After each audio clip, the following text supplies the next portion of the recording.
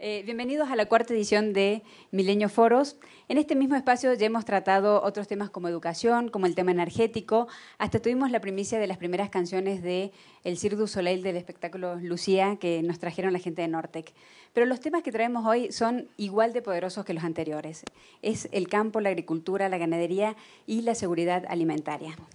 México ya es el doceavo productor mundial de alimentos, pero estamos a pocos millones de dólares de ser el número uno y de robarle ese lugar a Argentina, que lo tiene actualmente.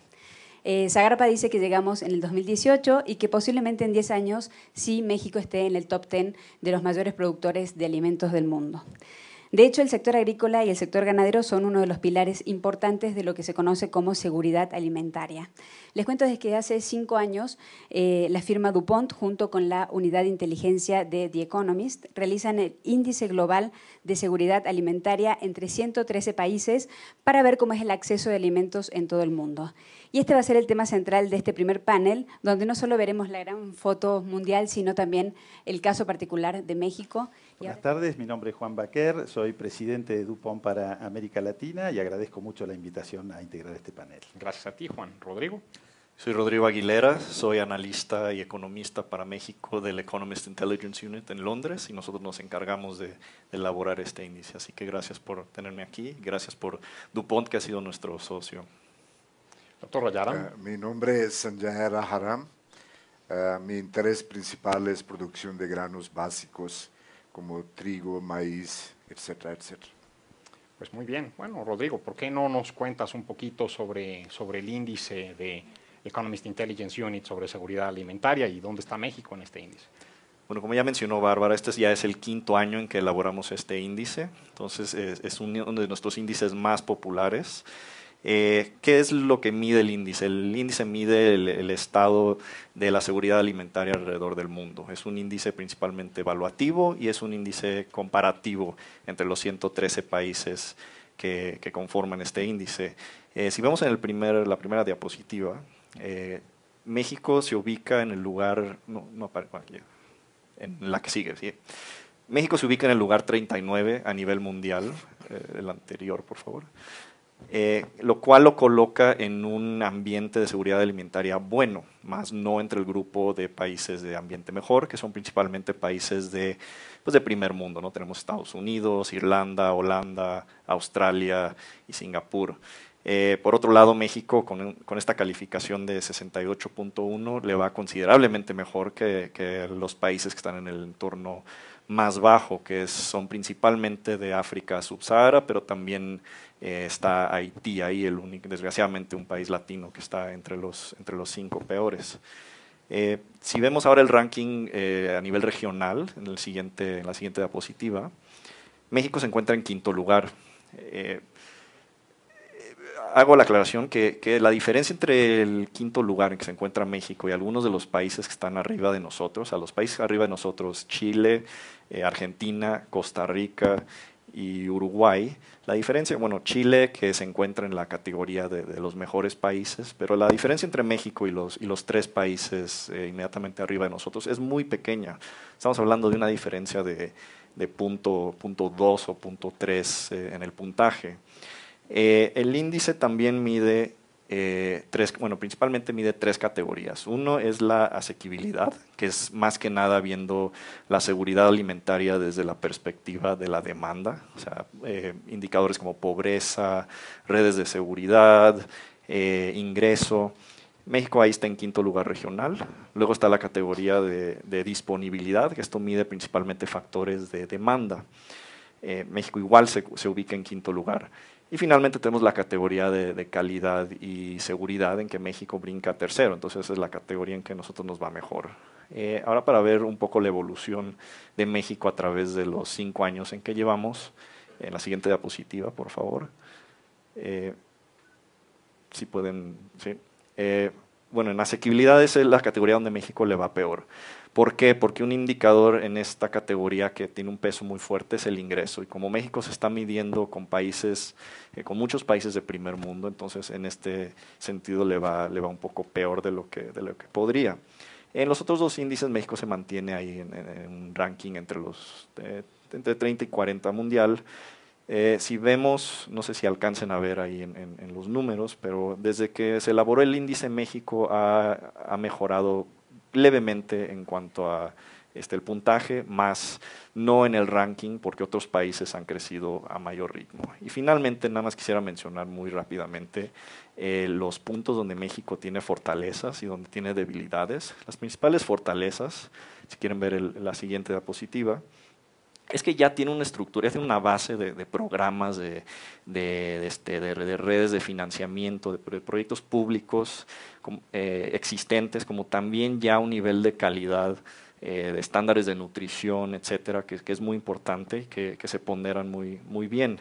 Eh, otros factores como por ejemplo pérdida de alimentos, que es muy importante, a México le va muy bien. Para mejorar son asuntos principalmente estructurales, eh, ingreso, por ejemplo, eh, el asunto de corrupción, eh, la inversión en, en, inversión, en investigación y desarrollo en agricultura, que es muy bajo y es muy bajo en muchos países. Yo creo que es un tema que al rato tocaremos. y otros aspectos como calidad nutricional, este, diversificación de dieta, que, no, no, le va tan mal, pero hay, hay mucho espacio para mejora todos los días, no importa si son hábiles o feriados, se suman 60.000, aproximadamente 60.000 personas más a esta casa común que es el planeta. Y esto va a seguir aproximadamente hasta mediados de siglo. Quiere decir que para el año 2050 vamos a ser 9.000, entre 9.000 y 9.500 millones de, de, personas. Eso ya es un dato que llama la atención. Va a haber que alimentar a muchas más cantidad de gente. Si a eso le sumamos el, deseo de mejor alimentación, de más nutritiva, eso ya es un desafío. Ahora, si eso no nos convence, porque eso es más a largo plazo, miremos el corto plazo. Actualmente, en la actualidad, las estimaciones indican que uno de cada ocho o uno de cada diez personas en el mundo se van a dormir todas las noches con hambre. No, tenemos prácticamente algo más de un 10% de la población mundial que no tiene seguridad alimentaria. A la luz de eso, Dupont hace algunos años decidió enfocar su parte de su estrategia como uno de los temas estratégicos, este, la seguridad alimentaria. Dupont es una empresa de más de 200 años que se dedica a utilizar la ciencia para proveer soluciones. Entonces dijimos, vamos a enfocarnos en eso, vamos a usar nuestra ciencia para intentar ayudar a solucionar los problemas alimenticios en el mundo. ¿Qué puede hacer eh, la innovación para eh, mejorar las, eh, las condiciones eh, del sector. Cabe anotar que el doctor Rayaram fue el segundo director de CIMIT, el Centro Internacional de Mejoramiento del Maíz del Trigo, después de su fundador, el, doctor Norman Borlaug, que, fue un, realmente un portento en, la agricultura, el padre de la Revolución Verde. Cuéntenos, doctor Rayaram. muchas gracias, Manuel. adentro de yo, quiero proyectar un poquito de futuro. Hay dos cosas que es preocupantes. Primero es incremento de población de México, 113 millones hoy, posible en 35 años, eh, va a ser 150 millones. Este no podemos parar, este tenemos que aceptar. Otro asunto es cambio de climas. cambio de climas quiere decir que hoy día posible uh, eh, asunto climas más estable y va a ser muy inestable. Adentro de esta, reconociendo estos dos factores, eh, hay muchos asuntos agrícolas que son muy importantes, necesitaría atención para futuros, especialmente biodiversidad que está disminuyendo, eh, deforestación, eh, salud de suelo, cómo vamos a internar los agrónomos o pequeño agricultor, etcétera, etcétera. Hay mucho. Pero yo quiero tocar dos asuntos nada más para hoy, que, eh, que a mí viene más importante en términos, eh, términos corto, mediano y largo plazo que, que México tiene que manejar. Uno de estas es, yo me, yo me quiero ver que México sea autosuficiente en producción de maíz quizá mucho sorprende, mucha gente que quizá ah, no, México es madre de maíz. Aquí se, nació eh, maíz. Pero no es autosuficiente en varios aspectos. Y ah, ah, unas cifras. México cuenta con un unas hectáreas de 8 millones de toneladas, con una productividad de 3, 3 toneladas nada más. Promedio mundial es mucho arriba. México tiene que lograr 5 toneladas por hectáreas, que fácilmente puede hacerlo. Sin embargo, necesitamos, necesitamos cambio en, ah, cambio en estrategia política, cómo vamos a manejar los semillas, etcétera, etcétera. Va a ser muy, muy importante. México importa hoy día entre 10 y 11 millones de toneladas de maíz de otro país, especialmente los Estados Unidos, con un precio aproximado entre 1.6 billones a 2 billones de dólares anuales. No, no puedo ser muy correcto y traté de calcular, entonces no me pongan mucho en esta. Sin embargo, México podía lograr, si con muy buena política, semilla, semilla mejorada hasta 40, un, producción de 40 millones. Okay. Pero este implica que los pequeños agricultores participen en este logro con tecnología de semilla mejorada, especialmente híbridos, y con buenas prácticas. Hay varios modelos y no quiero mencionar, pero algún modelo que quería mencionarlo es de, es de Masagro, que podemos eh, eh, llegar los pequeños agricultores. El segundo punto más importante para mí es el país cómo manejamos uso de agua. Yo creo que el uso de agua es no muy eficiente hoy día, eh, tanto como en condición de riego y también en temporal. No hay mucha aplicación de goteos para eficiencia, etcétera, etcétera. Sabemos que pueda incrementar producción, no hay mayor parte de cosecha de agua de lluvias en área temporal. Yo creo que tenemos que ver esta adentro de mucha otra cosa, especialmente también quería mencionar salud de suelo. Salud de suelo especialmente está decrementando nivel de carbono en suelo, que es muy importante, es también madre de agricultura.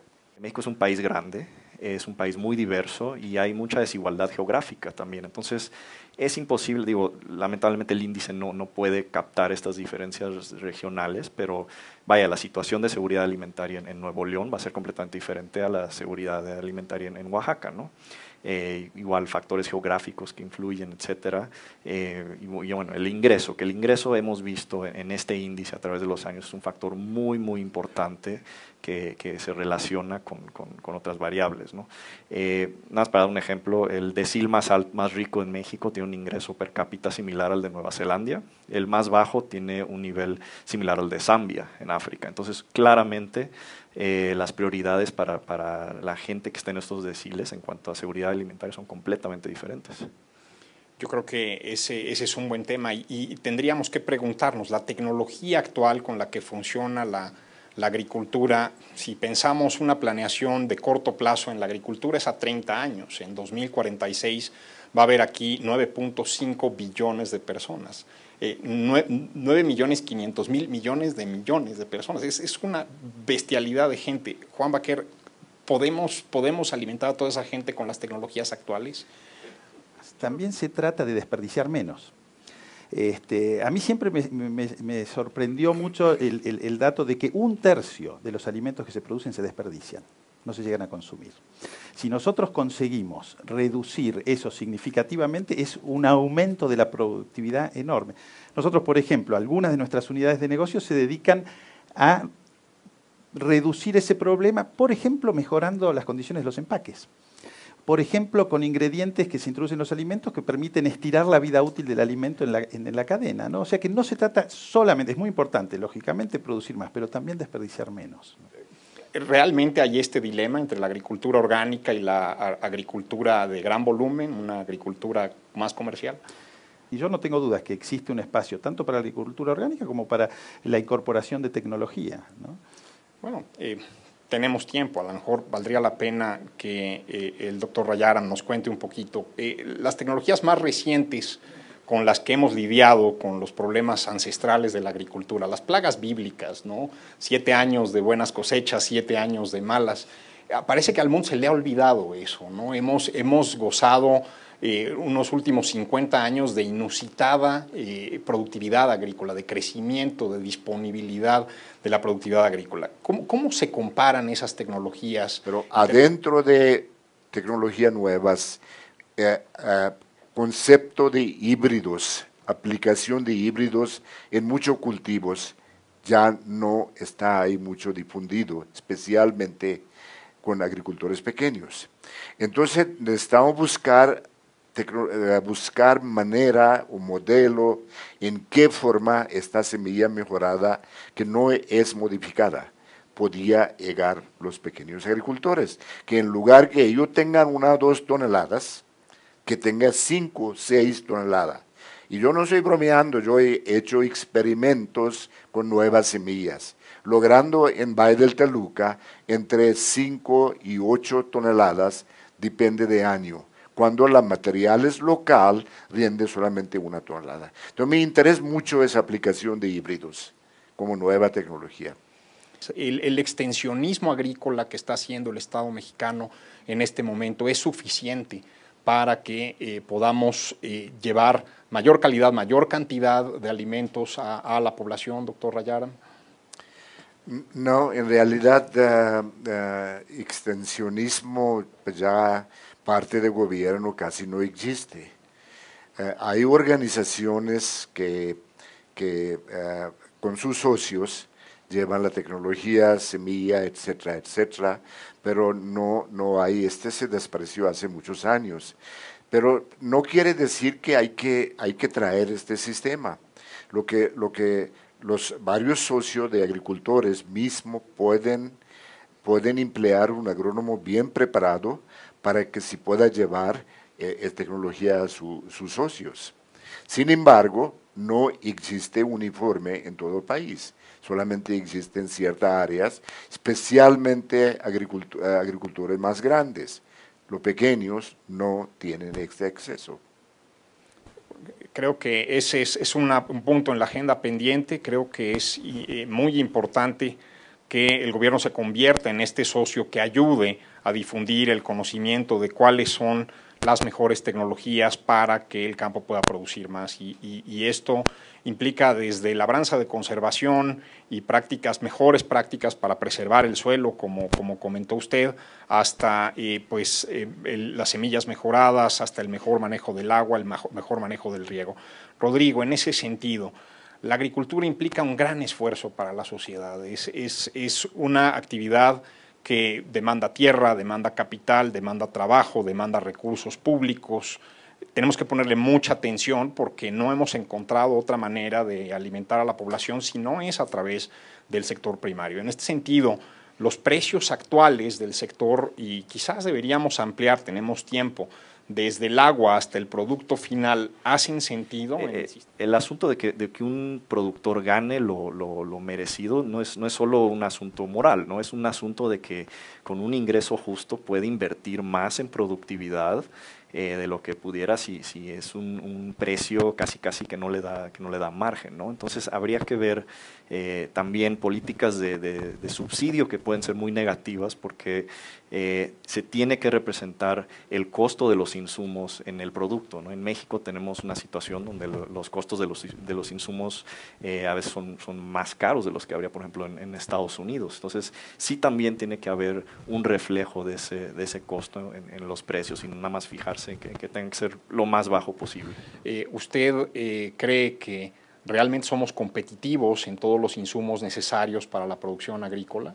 Parte norte del país cuenta con uh, varios presas con sistema de riego. Ahí yo hablaba que tiene que ser más eficiente. Quiere decir que no podemos seguir anudando el el sistema de inundación, tenemos que introducir otro sistema. Y ah, entonces va a ser más eficiente, vamos a usar menos agua para producir más o igual. Y, y, y uso de agua en área temporal para mí es lo que es, donde es mayor parte del país que, que cubre agricultura y especialmente como cultivo de, cultivo de vegetales, fruta, etcétera, etcétera, para mejor nutrición es muy importante que cosechemos agua, guardamos y usamos óptimamente, quizá en uh, invernadero para producir el producto más, más, uh, más que sea más uh, precio, mejor precio en el mercado. Excelente, pues muchas gracias. Ahora tenemos tiempo para algunas preguntas del público. Yo quisiera que por favor nos ayuden con sus preguntas. Por aquí tenemos una.